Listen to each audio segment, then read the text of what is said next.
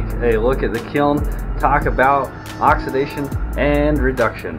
So I'm coming up on the kiln, I'm just going to show you around here when we're firing. This is the peephole. You can see in there right now. You see those three little spikes, and those are pyrometric cones. Those are what tell us how hot the kiln is. As the kiln gets up to temperature, those will melt. Melted cones. Alright, those tell us the temperature of the kiln. If you look in here closely, you can see just by the color, it's a little colder in the bottom than it is in the top. See a little bit of flame in there, but not very much. Look around here. These are the burners for the kiln. You can see that it's producing flame. Right, and then this burner here, this is how you can control the airflow. Right, more air, less air. Okay, it's pretty simple. There's also the gas here. The gas, you can control how much fuel goes into the kiln.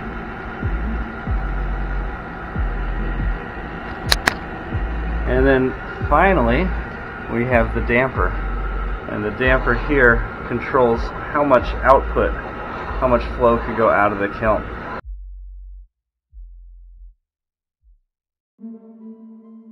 Alright, so when we have an oxidation environment, a neutral flame, which means it has just the right amount of oxygen. Alright, so the difference between oxidation and reduction. When you have an oxidizing environment, plenty of air for the fuel, if you hear that, there, this is an oxidizing environment. You can hear the flames breaking up a little bit and there's plenty of air in the fuel.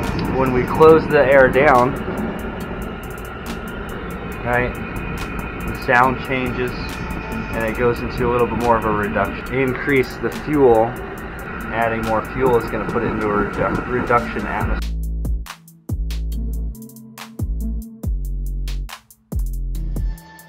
For Shino glaze, we want to produce the heaviest reduction possible. So to do that, I'm going to turn the gas all the way up. I'm going to turn the air all the way down to get a nice lazy flame. In this kiln we have two burners, so we're going to do that on both sides. Turning the gas all the way up, closing the air all the way, and then finally, to get a really heavy reduction, we can close in the damper. When we do that, notice here,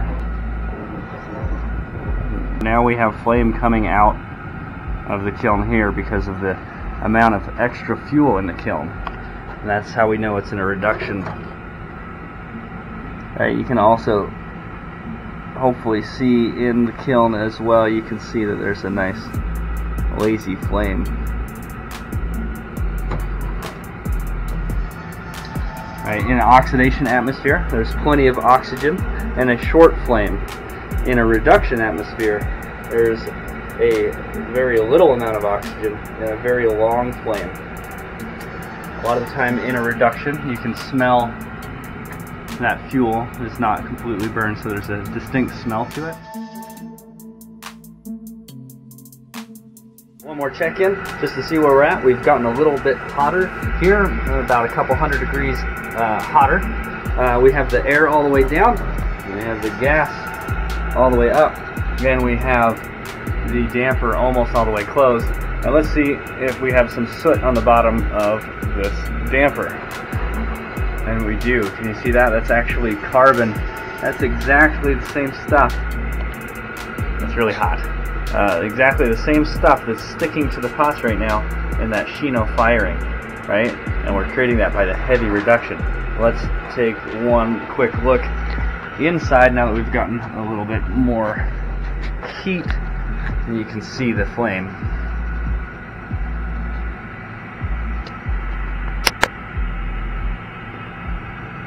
You can see that lazy flame now that it's gotten a little bit hotter. And if we open the top one, it's really going to shoot at us.